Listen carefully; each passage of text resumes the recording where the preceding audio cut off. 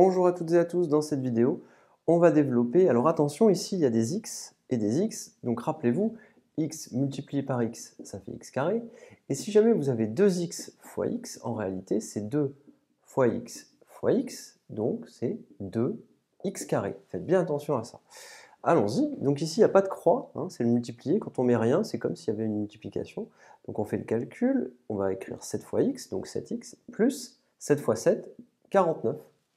7 fois x, 7 fois 7, 49.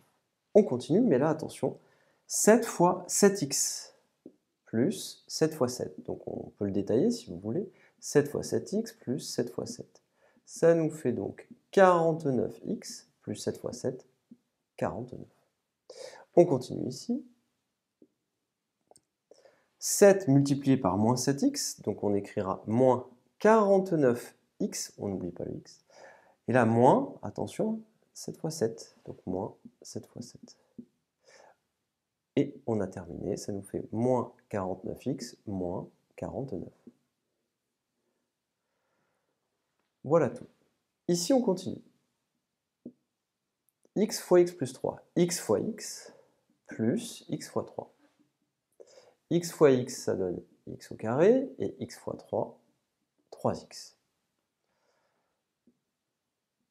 Là, on a des difficultés qui arrivent, c'est-à-dire qu'on a le moins ici, donc on va bien faire attention à l'écrire correctement.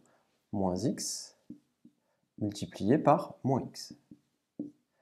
Moins le moins x multiplié par 3. Moins et moins plus x fois x, x carré. Moins et moins plus 3x. Et c'est terminé. Donc on obtient x au carré plus 3x. Faites bien attention, les x carrés et les x, on ne les ajoute pas ensemble. Continuons ici.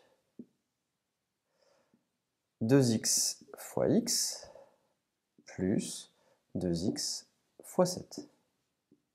2x fois x, ça nous donne 2x carré, plus 2x fois 7, ça nous donne 14x. Et c'est terminé. Alors, dans le dernier, on, va avoir un peu plus de difficultés parce qu'il y a des x et des y avec le 3 devant, enfin le moins 3 même. Donc, on va faire ce calcul. x multiplié par moins 3x et x multiplié par y. Faisons le calcul, ça nous fait x fois moins 3x